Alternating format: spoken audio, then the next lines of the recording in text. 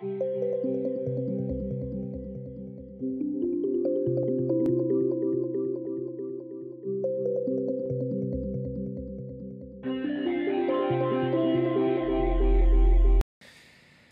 youth hackers, and welcome to episode number one of a longevity podcast brought to you by Novos, where we'll explore the science of aging and practical steps that we can take today to slow the aging process. The show will be hosted by myself, Chris Mirabile. I'm founder and CEO of Novos, and Dr. Chris Verburgh, founder and chief scientific officer of Novos.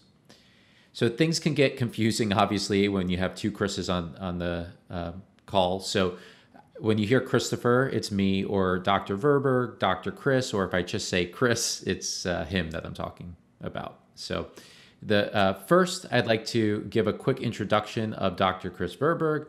So, Dr. Verburgh, or Chris, is a medical doctor, longevity researcher, and investor on behalf of a $100 million biotech fund that invests in longevity interventions that will shape human health and lifespan in the years and decades to come. He's also on the board at the X Prize, which many of you know is where businesses like SpaceX were born out of, and they will soon have a longevity prize. So, uh, in our first episode, we're going to just introduce the concept of the nine hallmarks of youth.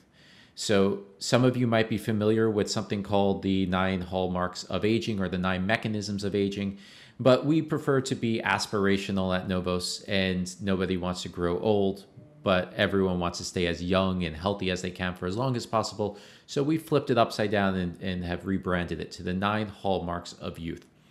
And we'll uh, have Dr. Verburgh go into um, just from a high level what each of those nine are, why they're relevant, how they impact aging. But in future episodes, we'll go into detail about each one of those mechanisms and ways that we can positively impact those mechanisms to our favor so that we are as youthful as we can possibly be. So, in each episode, we're going to start with what each of us, myself and Dr. Chris, um, have done to either add to our, our lifespan and health span or take away from it. So, why don't we start with you, Chris? Uh, why don't you tell the audience what you did this week that may have, in one way or another, impacted your longevity? Yeah. Well, I do a lot of things every day uh, to try to live longer and stay as healthy as possible. But the new thing um, this week would uh, be that I try to experiment a little bit with phosphatidylserine. It's a specific uh, lipid that's very prevalent in the brain. And uh, there are a lot of interesting studies uh, done around it. Um, and that's an ice cream car. Can you hear it?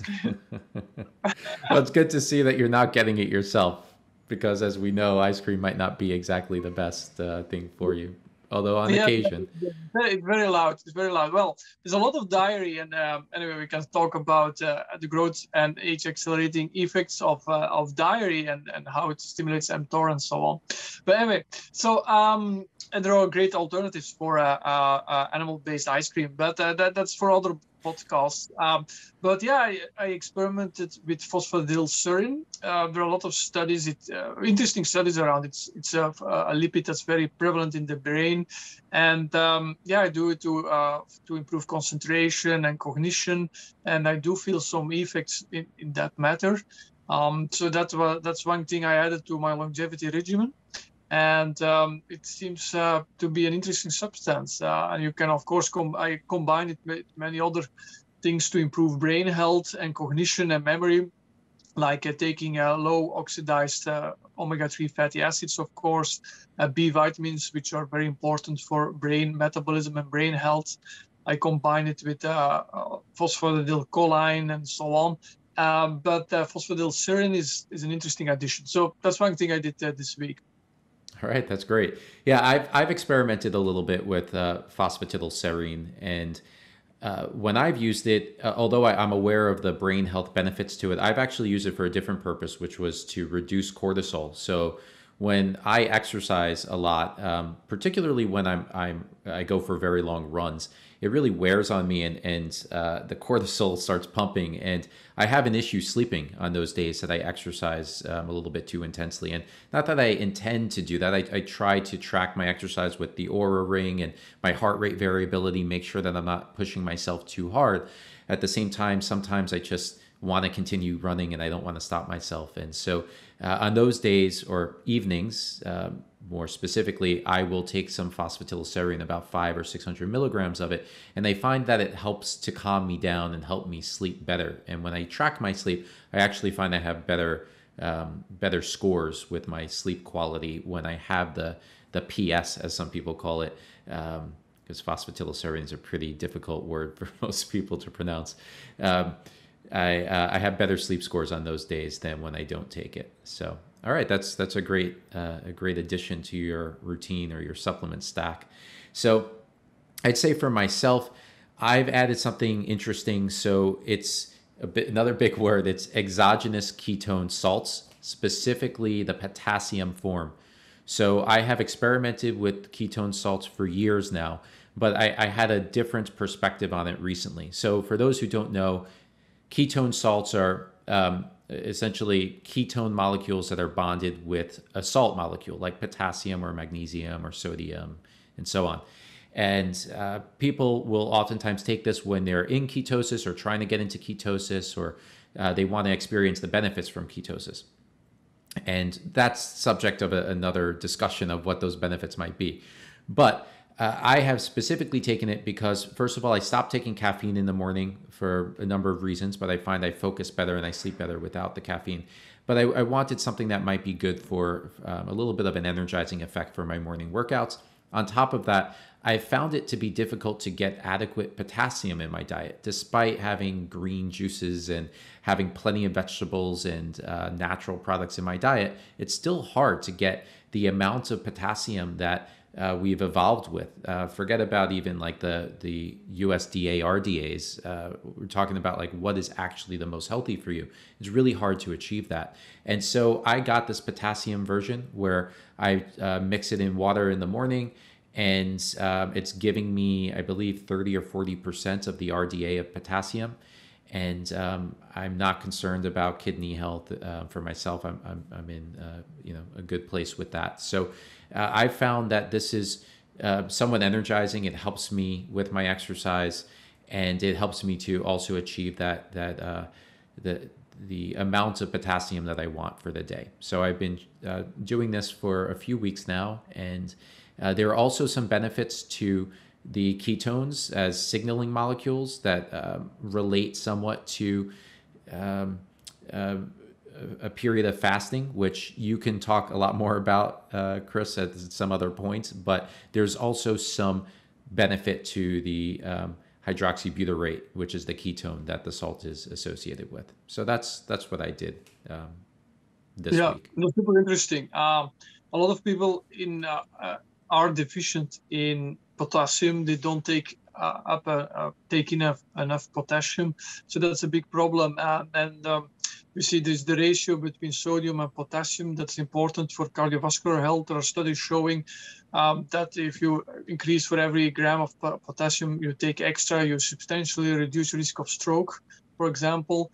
Um, so potassium is very important for blood pressure regulation. And the problem in the West is we eat too much sodium, too little potassium, and we need to get that balance right. In prehistoric times, people consumed much more potassium through uh, uh, fruits, uh, vegetables, nuts, and so on. Uh, but now, yeah, the, the ratio is completely skewed, skewed, too much sodium, too little potassium. And the ketones are very interesting. Uh, they have all kinds of effects on the body, um, including yeah, epigenetic effects. They can reduce inflammation. They can improve metabolism. Um, so that's that's what's produced when we fast. But even if you take it when you're well nourished, uh, still they have all these these effects on on the body. So they are definitely interesting and uh, one way to uh, impact uh, one specific hallmark of aging, which is epigenetic changes. Yes, definitely. Okay, and we'll we'll touch upon epi, the epigenome and, and epigenetic health uh, in a few minutes when we talk about the, the nine hallmarks of youth. But before we do that, let's just briefly mention Novos and talk about exactly who we are. This is our first episode. Many people might not be aware of what Novos is, so we might as well introduce it. So, Novos is a company that uh, Dr. Verburgh and I co founded, largely out of frustrations that uh, I'll leave it to you to discuss a little bit about those frustrations. But before we do that, I'll just mention what Novos does, what we are.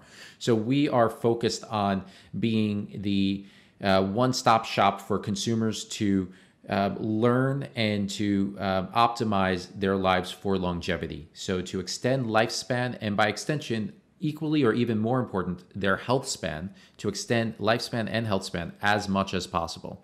Now, how do you do that? There's so much information out there from people recommending different diets uh, like ketosis or keto diet or uh, paleo diet, vegan, the list goes on.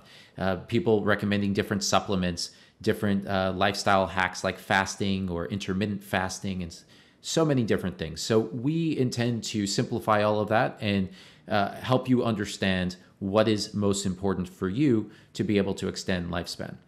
Um, and that's part of our business in, in, what we like to refer to it as the knowledge portion of Novos. And this podcast is an extension of that.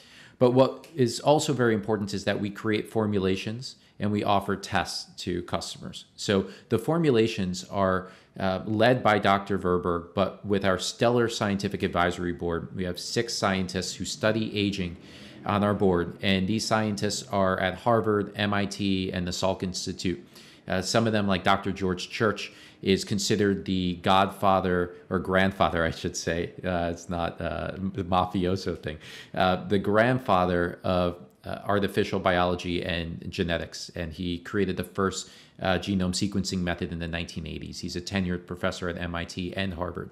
And uh, we have other very esteemed longevity scientists on our board that have helped us to formulate our first products, which are Novos Core, 12 ingredients that address all nine hallmarks of youth, and Novos Boost, which contains a very powerful ingredient, NMN, or nicotinamide mononucleotide.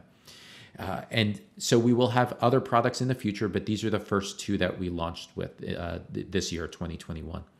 And then testing, we offer free testing and paid for testing. Right now, if you go to our website, novoslabs.com slash age tests, you will see two free tests that we have. One is a survey that our scientists and, and uh, Dr. Verburgh have put together, which will give you a longevity score based on lifestyle factors, um, family history, and so on. And that score is out of 100. Most people score in the 60s or 70s. Very few have scored in the 80s. Uh, so curious what you guys get if you can uh, put some comments uh, below and let us know what your scores are. But uh, this is something that is good for you to see how well you're doing and then also compare your score over time and not to mention, you would then also uh, get some insights into what things you can change in your life to be able to improve your score.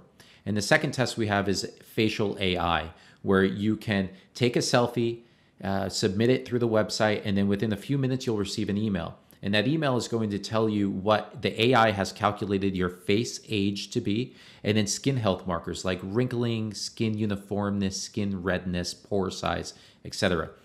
Uh, with each of these scores, you'll also get um, you'll have a hyperlink to our website, which will give you tips on how to improve each of these scores.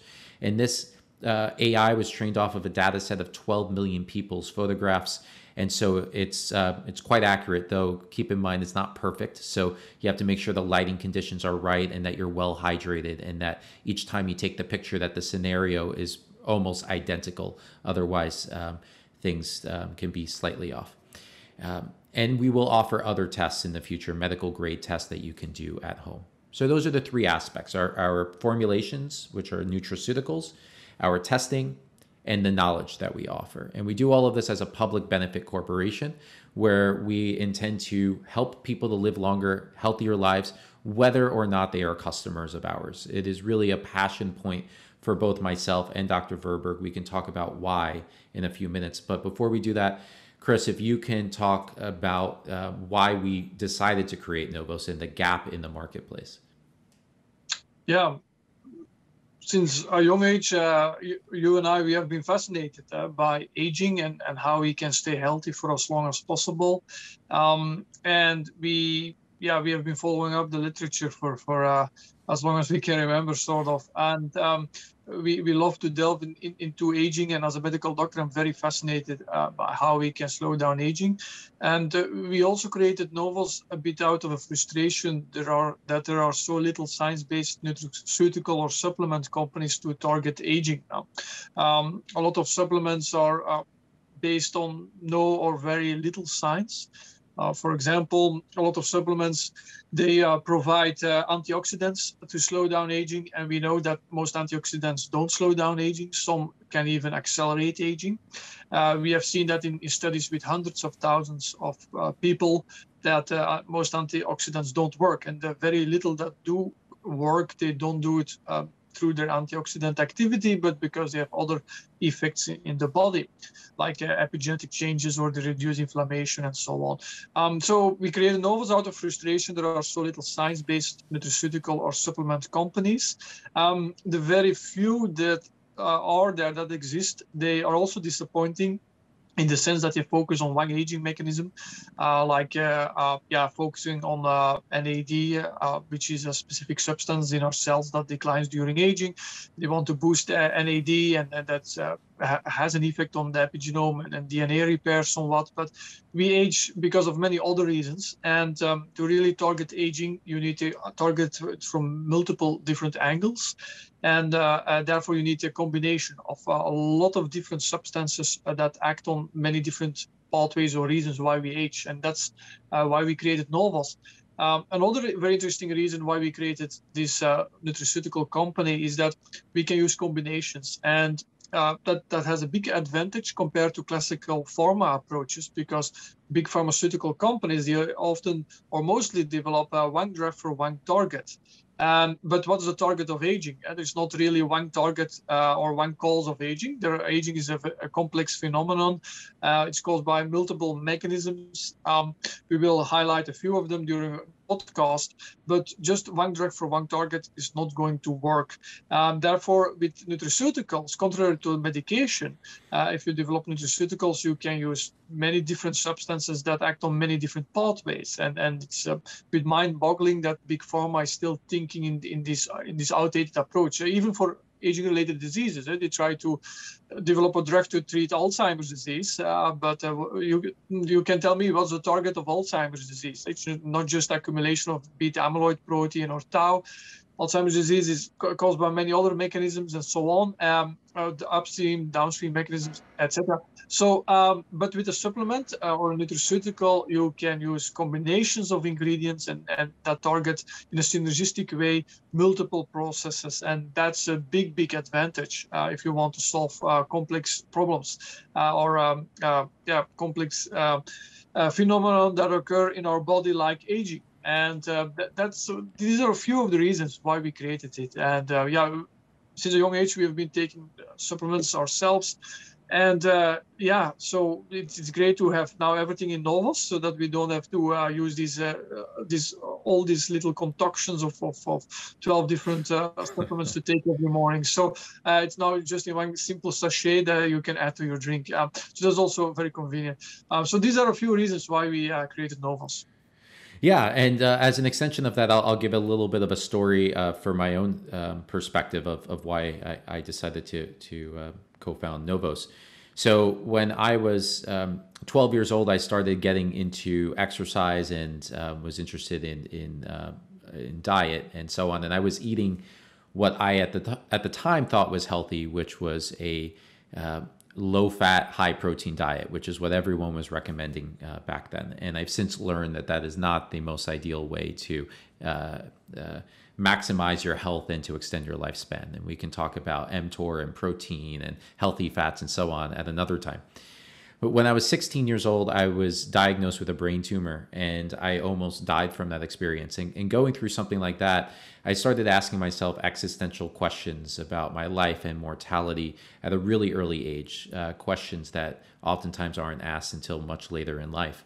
And uh, that that planted a seed in my mind, which has in some sense blossomed into what Novos is today. But there was a lot of time that passed since then. And uh, during that time, I became more interested in health, not for the more superficial reasons I was interested in it when I was 12, which was like exercising and looking fit and so on, but uh, more for the biological reasons, like how can I actually be as healthy as possible, prevent myself from having a brain tumor or anything else, any other chronic illness for as long as possible.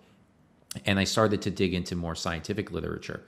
More recently, um, I, I uh, was able to fortunately step away from a startup of, of mine um, and had some time to to think about what I wanted to do next. And I, I knew I wanted to do something in the health field. I was going to different conferences in the longevity field and networking with people in that space. And what became immediately apparent to me uh, at these conferences where the scientists and some entrepreneurs are speaking is that most of the, the discoveries and innovation taking place is on the biotech or pharmaceutical side of things.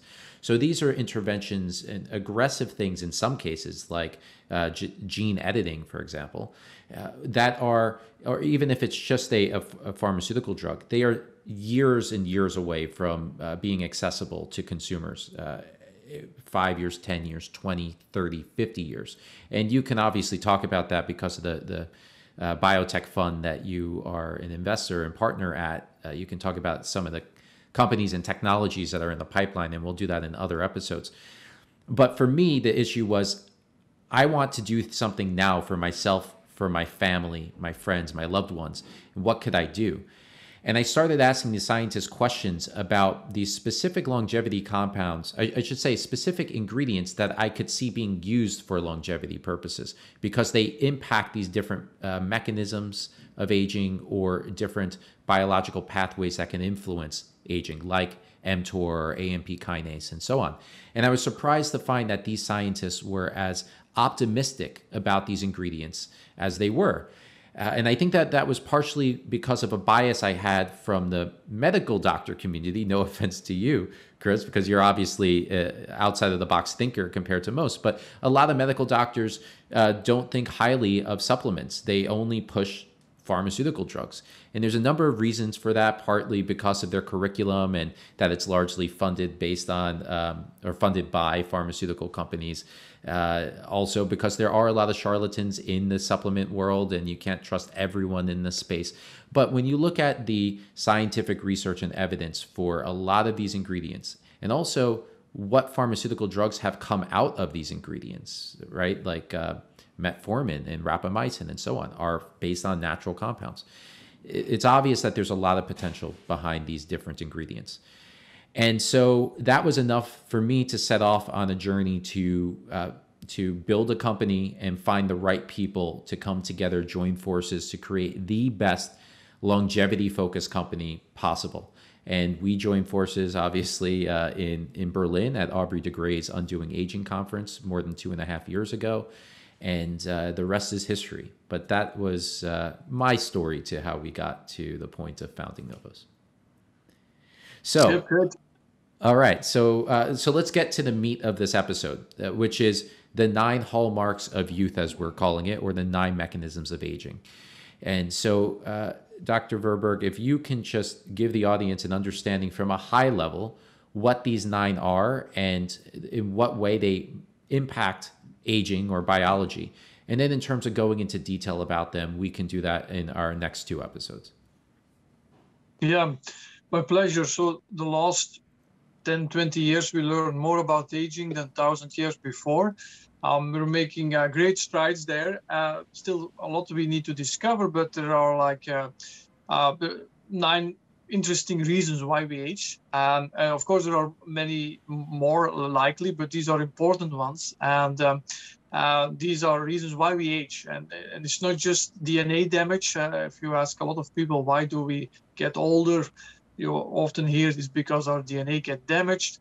But we see there are like many other mechanisms why we grow old. And um, if you want to stay young as long as possible, you need to try to slow down these uh, aging mechanisms. Um, so one important reason why we get older are changes in our epigenome. So our epigenome is the intricate molecular machinery that surrounds our DNA and that determines which genes are switched on or off. Um, it's very important, of course. And when we get older, you see more housekeeping genes or maintenance genes are switched off. And for example, pro-cancer genes are switched on, but it's one of the many reasons why we have an increased risk of cancer when we get older. Um, so these epigenetic alterations is one reason why we get older. And if you're young, uh, a hallmark of youth would be like to have a pristine epigenome where uh, all the correct genes are uh, translated into protein and uh, make the cells function properly. Another reason why we age is mitochondrial dysfunction. So the mitochondria are the power plants of our cells. Uh, they generate most of the energy we, the cells need to maintain themselves to keep uh, working properly. When we get older, these power plants wear down. It's called mitochondrial dysfunction. A hallmark of youth would be to have very, uh, let's say, well-functioning mitochondria. Another reason why we age is accumulation of proteins inside and outside our cells. So um, proteins are the workhorses and the building blocks of our cells. But the problem is when we get older, when the decades pass, more and more of these proteins start to accumulate inside our cells and outside the cells. And that hinders uh, cellular functioning. And uh, if you look at specific aging related diseases like Alzheimer's disease, you see that protein accumulation is a very important reason why we get Alzheimer's disease because the brain cells they get suffocated by the protein that accumulates inside them and outside them and um, and they die off and, and, then we get Alzheimer's disease. But also in the heart in the blood vessels these proteins accumulate. Another reason of aging is cellular senescence. So uh, it means that when we get older, everywhere in our body, these zombie cells start to appear. Um, these are cells that are damaged and they don't die, so they just keep living, and they cannot divide anymore. It's, it's a defense mechanism to prevent these zombie cells to become cancer cells. But the disadvantage of this of this uh, mechanism, uh, this cancer protective mechanism, is that these zombie cells they just keep sticking around and they secrete substances that damage the healthy surrounding cells. And that's not good. Uh, if you have a lot of senescent cells in your skin, um, yeah, your skin becomes saggy and wrinkly because these senescent cells secrete substances that damage healthy cells and the breakdown the glue that uh, glues together all our cells and that keeps our uh, skin firm and supple. Um, but senescent cells in the liver uh, uh contribute to liver dysfunction, senescent cells in the blood vessel walls uh, contribute to atherosclerosis or the clogging up of the blood vessels and, and so on.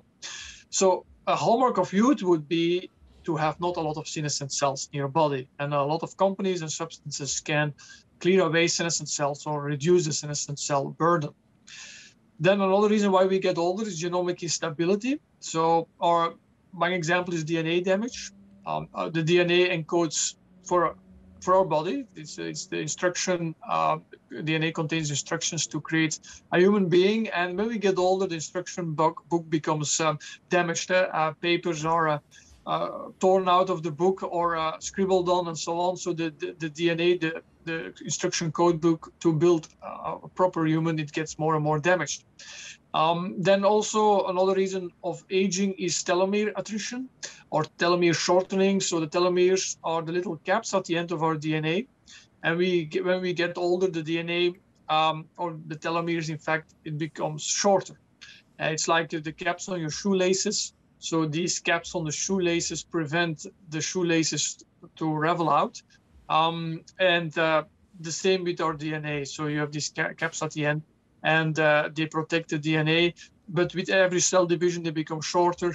And when the telomeres are too short, it uh, you have genetic instability or the raveling uh, out of, of the DNA, sort of. Uh, but uh, even in non-dividing cells, it, it, plays a role, this telomere uh, uh, damage or attrition. Um, then another reason why we get older is altered intercellular communication. So during aging, the cells will secrete substances that uh, travel around in the body and that damage other cells and it's a vicious circle. So when we get older you have these pro-inflammatory substances circulating or other damaging substances and it, it contributes to aging. It uh, uh, hinders stem cell function for example. Um, and uh, we have seen in studies that if you add young blood to old organisms that these old organisms start to rejuvenate somewhat because they are exposed to uh, a healthier milieu, a healthier cellular milieu that looks more younger. So a hallmark of youth would be to have cells that bathe in liquids, whether it's blood or intercellular liquids that have uh, uh, not a lot of these pro-inflammatory uh, factors and that have a lot of uh, uh, pro um, or let's say re regenerative factors and so on. Um, another reason why we get older is deregulated nutrient sensing. So it's um, it in fact means the cells when we get older they become more numb and react less well on uh, specific nutrient sensing mechanisms. So when we eat a lot of sugars, for example, we have a lot of insulin, we have an insulin peak, and the cells need to react to that to take up the sugars, but they don't react that well, uh, and that's that's we call it insulin resistance. But uh, also other uh, all kinds of other mechanisms uh, in the cell make it so that the cells react less well on on, on specific uh, cues uh, that relate to nutrition. And that plays a role in metabolic dysfunction, in weight gain, in uh, diabetes, and so on. Now, finally, another reason why we get older is stem cell depletion or dysfunction of the stem cells. Um, so the stem cells, they generate new cells.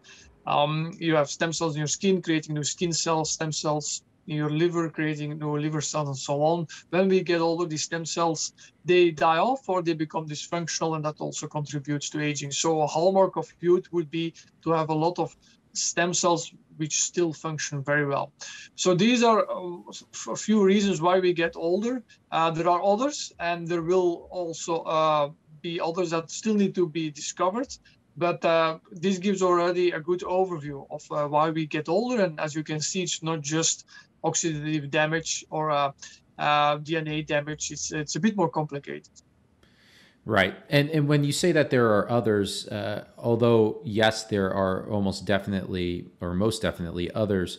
These are the nine that are gen- it's the general scientific consensus, right? That was largely based on a seminal paper published in the journal Cell, where they did a meta analysis of hundreds of other scientific studies and they had uncovered uh, these nine mechanisms of, of aging. And although there might be a couple of others, when you address these, um, you are quite possibly also addressing the other ones that exist as well, is my understanding. Would you agree with that? Yeah, definitely. Um, we, we discussed nine reasons why we age, and uh, yeah, these are very important reasons why we age. And uh, the question is also um, which are which reasons are more important than others. Uh, I pers- personally believe that epigenetic changes are a very big contributor to aging, and we have seen in studies that you, if you reprogram the epigenome, you can rejuvenate organisms and you undo a lot of other hallmarks of aging or aging mechanisms. Uh, so if you epigenetically reprogram an organism, um, the mitochondria become rejuvenated, the DNA damage gets repaired uh, to a specific degree, the protein accumulation is uh, much less and, and, and cleared up. So, um, so yeah, not all these hallmarks are equally important. And also, we didn't discuss some other hallmarks like transcriptomic dysregulation or uh, cross-linking uh, or the epitranscriptome uh, and, and so on, um, or changes in the microbiome. But um, yeah, these nine hallmarks we just discussed are very important reasons why we get older. Great. And, and so people have analogies. I know you have the house analogy and upkeep for the house. Aubrey de Grey has the car analogy. And what I mean by that is that um, let's take the car analogy. That if you think of the body as an automobile or a machine, uh, over time you need to maintain it because things start to wear out. And uh, for those who believe that, for example, taking antioxidants is a whole other matter, as you mentioned, it can actually accelerate aging in some cases. But those who believe that like taking antioxid- uh, antioxidants to counter um, oxidative pressures uh, will solve aging, it's almost like saying by um, fixing one punctured tire, you're going to make sure that the car runs perfectly, whereas you might be ignoring the muffler issues and the engine issues and so on and so forth. Uh, so, in other words, you need to look at the car or the body holistically and all of the different things, all of the different components that work together with each other, and address all of that. Make sure all of it is working well in order for the uh, machine or human to, to be at its peak optimal state. Now, with that said, would, would you uh, look at epigenetic changes as being uh, somewhat of an outlier in the sense of like I'm thinking of the epigenome as being almost more like the mechanic, right? So you've got these things going wrong, but if you can address the epigenome and optimize it, they might be a more efficient mechanic that is then able to uh, upkeep the car more um, efficiently, more effectively than if the epigenome starts to wear out. Would would you do you see that analogy? Would you agree with that, or do you see it differently? Yeah, the, I, I can um, I can see it uh, somewhat. I, I, I like to compare the epigenome um, with a, perhaps something that's easier to understand, uh, like um, with a piano player. Um, so you, if you look at the piano, the, the keys of the piano are the genes, um, and the epigenome determines which pia, pia, piano keys are, are touched or pressed, and um, so that way uh, you have like all your genes, you have about 20,000 genes, and the epigenome determines how active each gene is and which genes are switched on or not. So just like a piano player um, touches on presses specific piano keys which uh, create a symphony, um, you, you can look at the epigenome as the piano player that uh, plays a symphony of life. Um, and um, you have your genes, you have your piano keys, but it's the epigenome that determines which genes are, uh, are active or which piano keys are pressed and how hard they are pressed. Um, and with one piano, you can play uh, yeah, almost infinite amount of tunes, or you can play jazz on it, or classical music, or whatever and that's the power of the epigenome. Um, and like in 2003, we charted the genome. We um, charted the piano keys, and we thought then, okay, now we know the genome, we can solve all diseases, we can tackle aging, and so on. That was a big disappointment uh, um, because we see there is an extra layer of huge complexity. So it's not uh, just the piano keys; it's the piano player that determines whether we play jazz music, or uh, how long the symphony will last, how long it will play. Problem is when we get older, the piano player becomes less well. Uh, um, uh, he, he, makes errors, he pushes keys he should not push, so that specific probe cancer genes are switched on, or he forgot he forgets to push other uh, piano keys, uh, which could be genes that maintain the cells and that clear away damage and so on. So the melody of life becomes um, less well played, and and that uh, that contributes to aging. And um, we also see that epigenome is uh, plays very important roles in in aging, uh, and that also most interesting ways to measure how old you really are your biological age it's by looking at the epigenome uh, how how it's organized and there are many other reasons why we think uh, epigenetic changes are an important reason uh, why we age Great. Yeah, I, I think that's a, a, beautiful analogy. Okay. All right. So let, let's uh, start to wrap up on episode number one. So, uh, first, I, I just want to tell the listeners what they can expect from this podcast or YouTube channel, whichever format you prefer. So, uh, in each episode, we are going to talk about the uh, different uh, causes of aging and the different types of things that you can do to address these causes. Um, we will and those are natural things things that you can integrate into your life right now. We'll talk about coming innovations things that are a few years away or maybe even decades away the most cutting edge promising technologies. Um, in some cases we might be interviewing scientists including our scientific advisory board members um, or others uh, other scientists that we are friendly with in the industry some of which uh, you guys are most likely aware of and, and fans of. Um, and uh, for each episode, we will also, as we've already done, cover what we've done in our own lives to either add or subtract from our longevity and health span, because we are humans and we're not always getting things right. And uh, and we'll also uh, go over customer qu- uh, questions, or I should just say listener questions, right? So uh, to that point, we'll um, wrap up with listener Q and A. So the uh, first question comes from Billy in Arizona. And that question is What makes us so certain that human aging can be slowed and longevity increased? And uh, Chris, before you answer this, if you guys have a question, you can feel free to send that question into care at novoslabs.com. And I'll put the link on the top of the screen. It's care at novoslabs.com. So, so Chris, if you can go ahead and, and answer that question. Yeah, that's a great question. So in the last uh, 10, 20 years, we have seen uh, quite significant progress made in understanding why we age.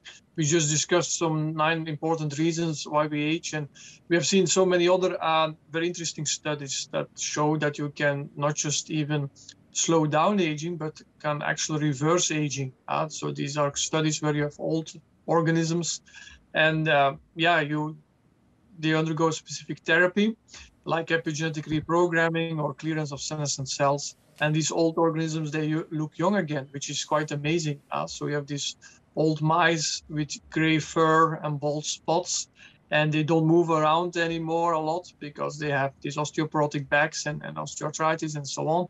And then they get this treatment and they look young again. So the gray fur is shiny black again.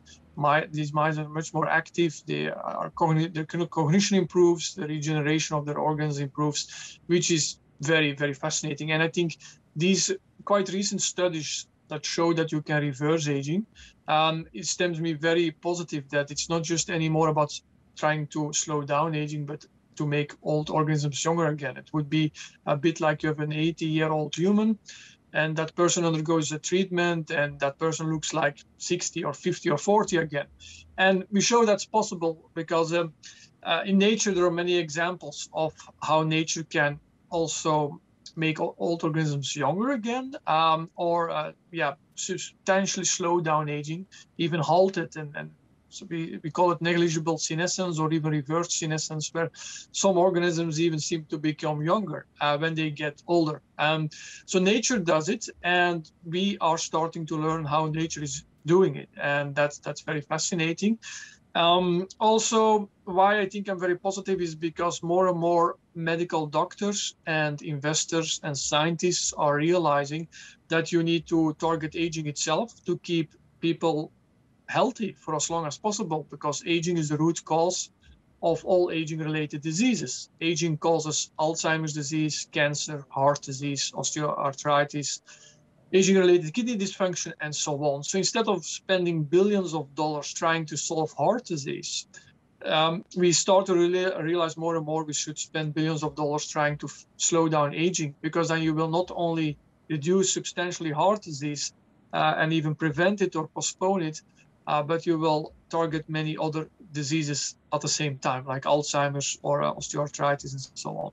Um, so these paradigm shifts are slowly but steadily unfolding in the medical and uh, scientific community is that's also stems me very optimistic that we will uh, um, see more and more uh, uh, positive yeah evolutions in, in the field. Um, I think also third thing is that there is more and more investments are flowing into fundamental aging research.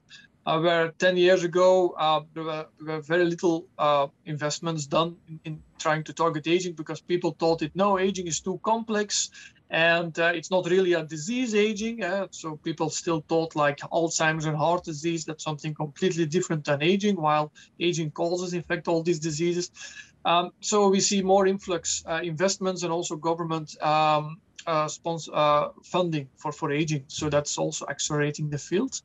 Uh, so these are a few reasons why I think that we will see very uh, interesting developments in the next few years and decades uh, in the field of, of keeping people healthier and younger for longer.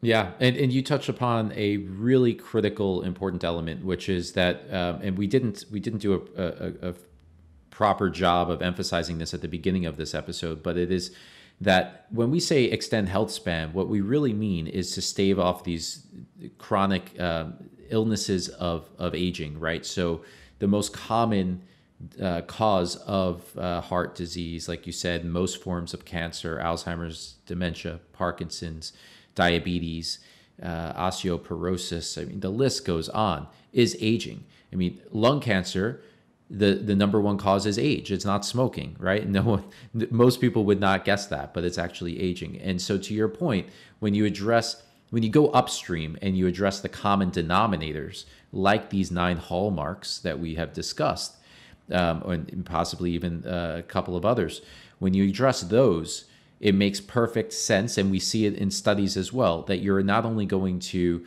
um, affect the intended target, maybe that's heart disease, but then you're also going to improve the fitness of the entire organism. In other words, reduce the risk of any other type of chronic illness taking place as well. So, this is, in my opinion, one of the most important things that humanity can focus on is to try to address these root causes of aging. Okay, great. Yep. So one one last question from our listeners. Let's let's try to make this a quick one. If there was only one thing I could do today to improve my health span and lifespan, what would it be? And this is from Kristen in Long Island, New York. Yeah. Well, the, there are many things you, of course, can do, but I think the most important one would be nutrition. Uh, I believe that nutrition is the most powerful technology we have currently to live longer. Um, and then, and then you have exercise and, and taking care of sleep and, and so on. But uh, we see in a lot of studies that nutrition and how much you eat, when you eat, and what you eat um, has a very strong impact on, on lifespan and the rate of aging, uh, more than exercise. Exercise is great to also reduce the risk of aging-related disease and so on, but exercise does not really extend maximum lifespan. It extends medium lifespan. But we see that uh, with nutrition, uh, uh, you can really impact the rate of aging and also maximum lifespan. So nutrition would be the first thing I would uh, pay attention to.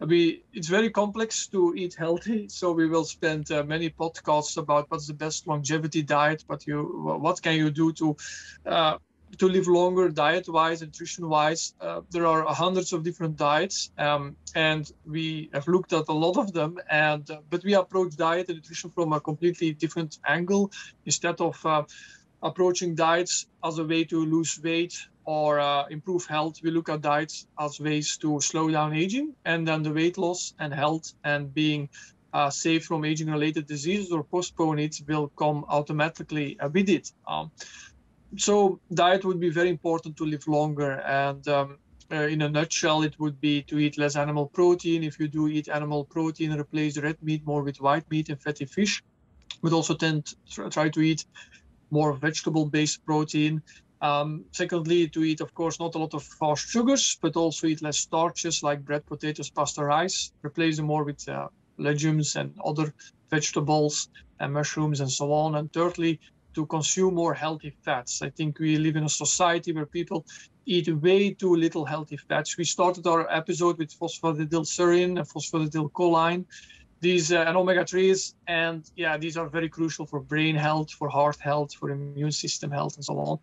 Uh, we have a bit uh, of a fat phobia and um, there are indeed a lot of unhealthy fats and there are a lot of misconceptions also about about fats. I think it's oversimplified keto diet versus uh, the government advice. I think both are have some good points and some very bad points but um, we, it's much more complex. But yeah nutrition that it really starts there and also supplements because even if you eat healthy it's very difficult to get all the nutrients you need. Why that is that's also very long story so that, that's a, a whole podcast on itself. But don't buy what governments are saying like if you eat healthy you don't need supplements. That's not really true uh, because the government um, data or advice is based on outdated studies that just look at short-term effects of not consuming enough nutrients, but you're not looking at what are the best doses to live a very long, healthy lifespan. And uh, humans are also evolutionary, very badly made to consume or to take up nutrients. Like iron deficiency has been a problem for uh, throughout whole human evolution, same for iodine and so on. So supplements very complex um, and yeah, we, will we'll talk a lot about that. But nutrition and supplements would be a very good start to uh, to enable longevity and, and uh, a healthy lifespan. Right. Yeah. To your point, the government RDAs tend to be for the sake of uh, staving off some sort of short term illness um, and not about maximizing uh, your human potential, your biological potential, and to maximize your lifespan. They, they the studies aren't long enough, and they're really the end points of these studies is really to um, make sure that somebody doesn't get an illness like scurvy, for example. It's not really about um, being able to think as clearly as possible and to uh, live disease free and so on. And we see this in society in, in terms of uh, the the uh, very high rates of, of these chronic illnesses. So I, I would agree with you uh, in terms of what's most important is nutrition. I would also echo your point about supplementation that uh, as healthy as I eat uh, in terms, I eat tons of, you, you as well, uh, tons of vegetables, fatty fish, um, practically no processed foods. Um, and yet it's still very difficult if you use the Cronometer, the, the, uh, um, the the app that allows you to see like the the different nutrients, macros, and micros that you're taking in. It's almost impossible to hit the targets, like I said about the potassium ketones at the beginning of the episode. But I, am going to throw one thing in there. It's um, this isn't what I actually think is the answer to the the listener's question, but I just want to emphasize the importance of sleep. And this is coming from someone who has been obsessive about exercising since I was 12 years old. Uh, and uh, I, I, would say exercise is less important than nutrition, like you said. And I'd say exercise is less important than proper sleep, actually, although you need some activity. I think that sleep is really neglected in modern society, especially in the United States, where it's all about uh, it's almost like a, a, badge of honor that you wear that you have uh, pulled an all nighter. Um, in, in the world I come from, with in terms of um, entrepreneurship or um, or friends of mine who are lawyers or bankers and so on, they're oftentimes showing off that they worked until 3 or 4 a.m. and they woke up at at uh, at 9 a.m. to start the day again. And it's it's actually just really foolish uh, in the end, right? Like it can increase the risk of uh, neurological issues like Alzheimer's, but not to mention like the sleep. For a long time, we didn't understand why we slept, but we knew that practically all organisms need to do it. And now we're understanding more and more about the importance of sleep. And I know for myself that when I emphasize sleep, I am a different person. Uh, I am, uh, I think more clearly. My memory is better. I am in a better mood. Uh, I can be more physically active. Uh, it, it, it's like you, you put the lights on full brightness when you sleep well, as opposed to, for most people, I think they're dim. And I think most people don't even realize that they're dim. When I talk to friends of mine who say, oh, yeah, I can have a cup of coffee at 10 p.m. and get to sleep at midnight and wake up at 6 a.m. or 5 a.m. and I'm perfectly fine. Like, you don't realize what life could be like if you actually took better care of your sleep, your sleep hygiene, and so on. So, I, I think it's neglected, and that's the reason I want to emphasize that as well for longevity. Yep, yep, definitely. And on our website, novoslabs.com, we compiled an article with 60 tips to sleep better, ranging from which supplements you can take to improve sleep that are also actually healthy and can extend lifespan, like glycine. It calms down the nervous system. Uh, it's an inhibitory neurotransmitter-like substance and uh, we also put it in Novos because there are studies showing that glycine can extend lifespan and um, by acting on the mitochondrial epigenome, for example, but it also is used to sleep better. Um, also melatonin. Uh, there are studies showing that melatonin can extend lifespan, but also it can improve sleep. But there's a big issue with melatonin. The problem is it's way too high dosed often. Uh, so people take um, five to 10 milligrams of melatonin, which is way too much. You get a very high peak. It goes down very quickly. You can wake up in the middle of the night because of that. So best is to take extended uh, slow release melatonin um, so that it's gradually given off during the night and uh, maximum one milligram. Uh, so, but we will talk about sleep optimization in, in next podcast. But um, it's very important, definitely, to sleep well. And uh, we've see we've seen a lot of studies that if you are sleep deprived, uh, that uh, even five hours of sleep, for example, next day your immune system works much less well. Uh, we see in people who have night shifts or don't sleep enough, they have more risk of cancer, of Alzheimer's disease, of diabetes, or, or weight gain. We see the same in, in animal studies. If you disturb sleep in mice, they, they get ill much, much faster. So it's definitely super important. And also during sleep, your body regenerates, uh, uh regenerates mm. literally. So uh, we, one of the hallmarks of aging, we discussed is protein accumulation.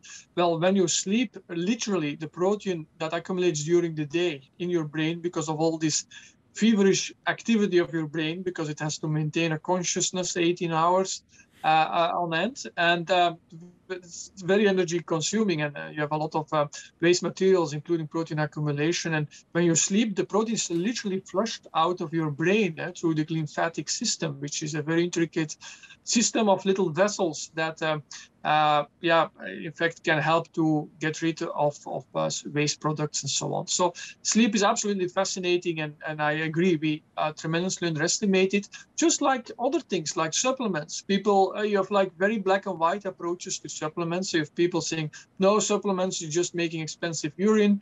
And then you have other people saying, yeah, no, supplements can solve everything.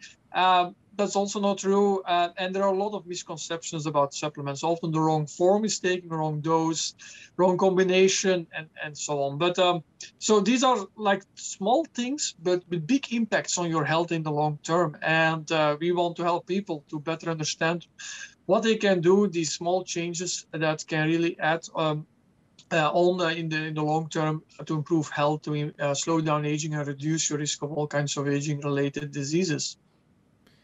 Yes, 100%. Okay, great. So let, let's wrap up on the episode number one, Chris. So, uh, just a quick preview of what episode number two will be. So, we're going to focus on what are the first five hallmarks of youth and how do I improve them. So, the spe- specifically, which ones we're going to go over are genomic instability, telomere attrition, epigenetic alterations, loss of proteostasis, and mitochondrial health. And with that said, uh, if we ask all of you to like this uh, podcast or YouTube channel, subscribe to it, uh, to add comments, share it with your friends and family. Uh, we're just starting out, so uh, we could really use your help to get the word out about us. And we'd really appreciate it if you did. Again, as a reminder, you can email us at care at novoslabs.com with any questions that you might have that you'd like us to cover on the podcast. And uh, that's it on my end, signing off.